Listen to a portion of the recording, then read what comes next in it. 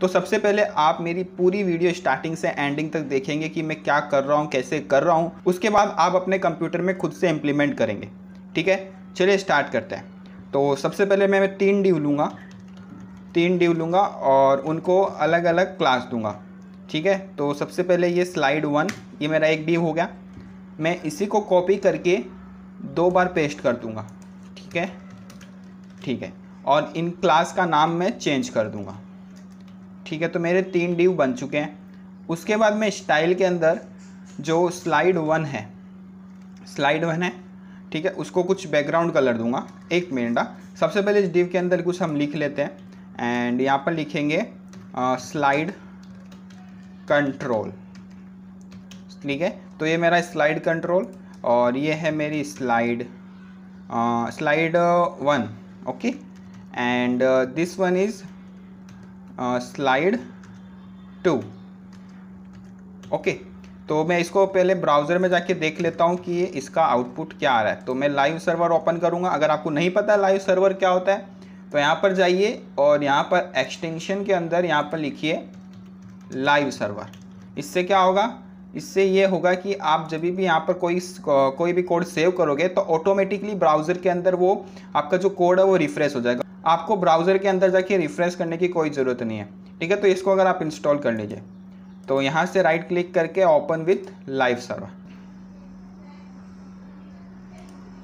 तो अभी मैं क्या करूँगा? अभी मैं इसको पहले बंद कर देता हूँ।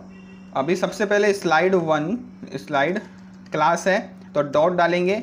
स्लाइड वन को मैं बैकग्राउंड कलर दूँगा। कोई भी बैकग्राउंड कलर दे दीजिए। मैं इसको ये दे देता हूँ। ये दे देता हूँ ठीक है? सेव किया कंट्रोल एस उधर जाके देखूँगा ऑटोमेटिकली आ गया ठीक है? After that dot slide two comma dot slide three आपको आता है ना मल्टीपल क्लास किस तरह से हम यूज़ कर सकते हैं? कोमा डालेंगे और दूसरी क्लास लिख देंगे ठीक है? इससे क्या होगा मल्टीपल क्लास हम एक की मतलब एक ही लाइन में दो क्लास लिखेंगे और जो भी प्रॉपर्टीज़ लिखेंगे वो दोनों क्लास को लग जाएगी। तो इनको मैं बैकग्राउंड कलर दे देता हूँ। हम्म, चलो ये दे देते हैं। कंट्रोल एस किया, उधर जाऊँगा, देखिए, ठीक है? उसके बाद मैं क्या करूँगा, इन तीनों को एक साथ लिखूँगा।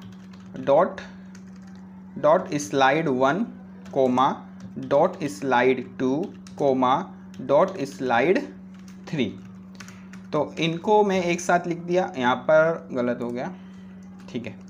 अभी मेरे को क्या करना है, इनको कुछ पैडिंग दूँगा पैडिंग दे दिया मैं दस पिक्सल का, और उसके बाद इनको मैं text align centre control S देखिए तो सब सेंटर में आ गए मेरे। वो वाला, ये वाला सेंटर में क्यों नहीं है क्या गलती किया मैंने? यहाँ यहाँ पर देखिए मैंने कोमा नहीं दी है। कोमा दूँगा कंट्रोल एस करूँगा। तो ये तीनों सेंटर में आ गए। अभी मुझे क्या करना है? ये जो स्लाइड वन और स्लाइड टू है, इनको हाइड करना है, ताकि मैं स्लाइड कंट्रोल पे क्लिक करूँ। तो ये जो मेरे दो है, वो नीचे इसकी तरह स्क्रॉल हो आए, ठीक है? तो उसके लिए क्या करेंगे? स्लाइड टू स्लाइड थ्री को यहाँ पर हम डिस्प्ले नन करेंगे। डिस्प्ले नन किया, ब्राउज़र में क्या यहाँ पर कुछ नहीं। तो अभी मैं इस पर जब भी क्लिक करूँगा तो वो दोनों स्क्रॉल होकर आना चाहिए। उसके लिए हम क्या करेंगे, हम जैक्वेरी के अंदर आएँगे। तो जैक्वेरी कभी भी आप यूज़ करते हो तो आपको सीडीएन डालना होता है। मैंने पहले भी वीडियो में बताया कि सीडीएन आप कहाँ से लाओगे, ठीक है? तो ये सीडीएन मैंने यहाँ पर डाला है। उसके बाद डॉक्यूमेंट तो document dot ready document dot ready फिर फ़ंक्शन चलेगा। कॉम ये और ये ठीक है, इतना हमको लिखना पड़ता है। और उसके बाद मेरे को क्या करना है स्लाइड वन पे मैं जब भी क्लिक करूँ तो मेरा ये दो जो डी वो स्क्रोल होके आना चाहिए। तो मुझे स्लाइड वन वाली जो क्लास है, उसको टारगेट करना है। तो dollar parenthesis inverted comma class है तो डॉट और मेरी क्लास का क्या नाम है? स्लाइड वन तो इस पर जब भी मैं क्लिक करूँगा ना तो उस पर एक फ़ंक्शन चलाऊँगा। फ़ंक्शन के अंदर क्या होगा? फ़ंक्शन के अंदर ये जो दो डिव है ना, वो दोनों डिव स्क्रोल होके आने चाहिए।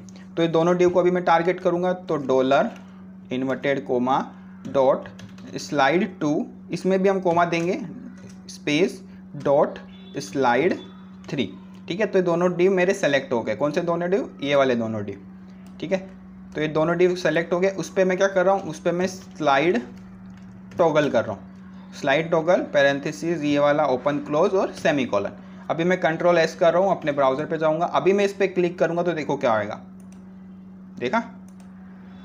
क्लिक कर रहा हूँ तो स्क्रोल होके आ रहा है, वापस क्लिक कर रहा हूँ तो वापस ऊपर चले जा रहा है। तो ये होता है स्लाइड टॉगल अगर आप सिर्फ़ डाउन करना चाहते हो तो डाउन भी कर सकते हो। यहाँ पर सिर्फ़ डाउन लिखना है आपको।